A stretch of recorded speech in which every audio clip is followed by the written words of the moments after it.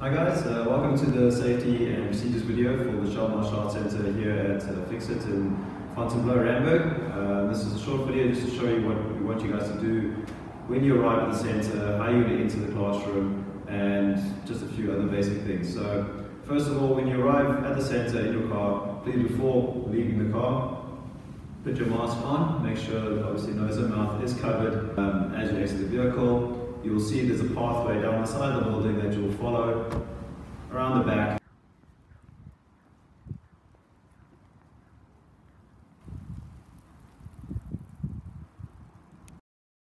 Okay, you'll come down the side of the path along the side of the building and you'll see the black tape on the floor. That's where you guys will line up.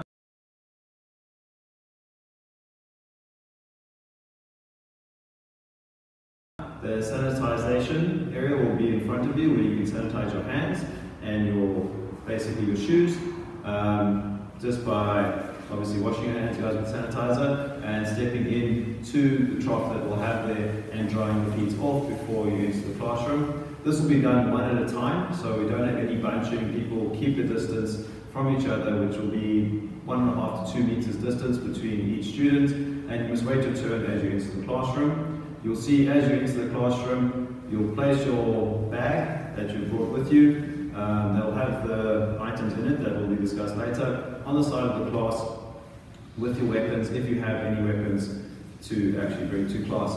Your jacket and everything then can be taken off because now it's winter, placed inside the jacket or inside the bag so you don't have um, stuff lying around the classroom and you keep the floor space open. You'll then make your way to a designated spot in the classroom and the class will begin. Your instructors will be wearing masks, okay? Obviously, as the students, you will remove the mask so you can train, okay? There will be no contact allowed in class, there will be no sharing of equipment, there will be no use of equipment in the class other than your own personal weapons, which you are responsible for to keep clean and to bring and take home with you.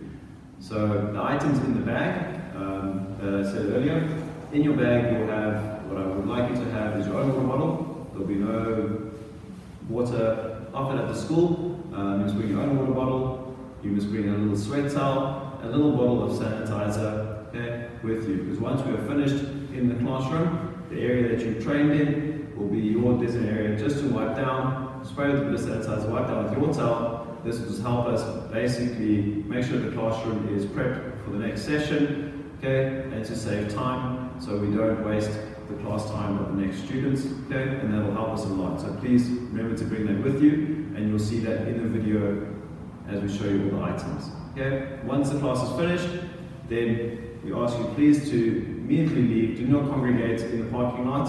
Um, unfortunately, we would like you to basically get in your vehicle and go. If you do need to wait for a ride, um, please not to wait in, uh, in groups, uh, to stand and keep the social distancing of at least one and a half to two meters between each other, um, waiting for your lift.